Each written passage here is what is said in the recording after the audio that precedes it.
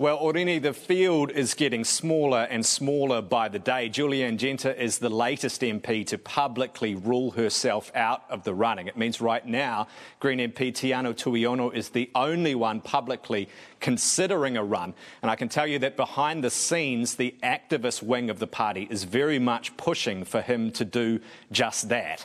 Uh, but that was only after their top two candidates, Chloe Swarbrick and Elizabeth Kerekere, decided they weren't going to put their hand up this this time round.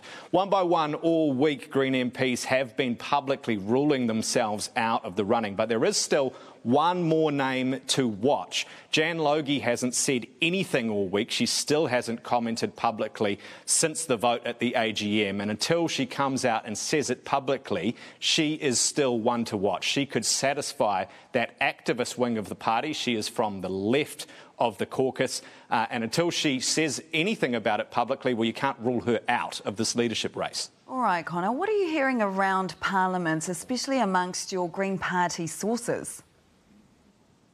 Yeah, well, among the caucus and among their staffers here at Parliament, there was a state of shock last weekend when James Shaw wasn't re elected at the AGM. Although one MP told me that they had heard whispers of the campaign against James Shaw ahead of that vote at the AGM. I asked them whether they were involved in that campaign. They told me, quote, absolutely not.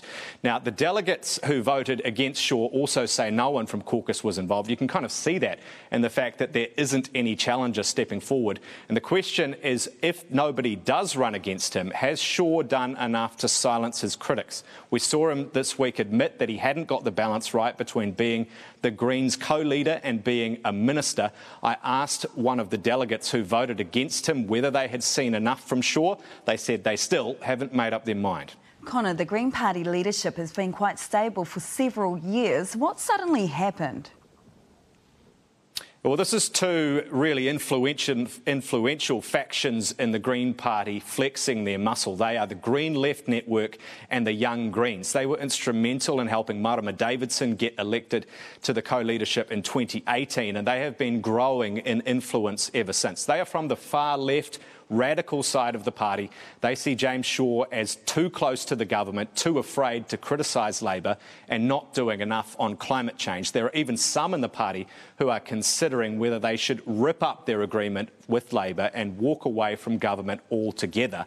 Now, that raises serious questions about stability going into an election in 2023. Labour will almost certainly need the Greens to govern next year, and you can bet that National and ACT will be asking serious questions about stability in 2023. Okay, so what's the process from here? Well, nominations close on Thursday. There's still time for anyone to put their hand up until then. And don't rule out someone from outside of Parliament putting their hand up to run for co leader. Russell Norman did that in 2006 and successfully won that contest then. The worst of all worlds for everyone is really if nobody runs against James Shaw in this next vote. For his critics, it means there's no chance for a change of direction.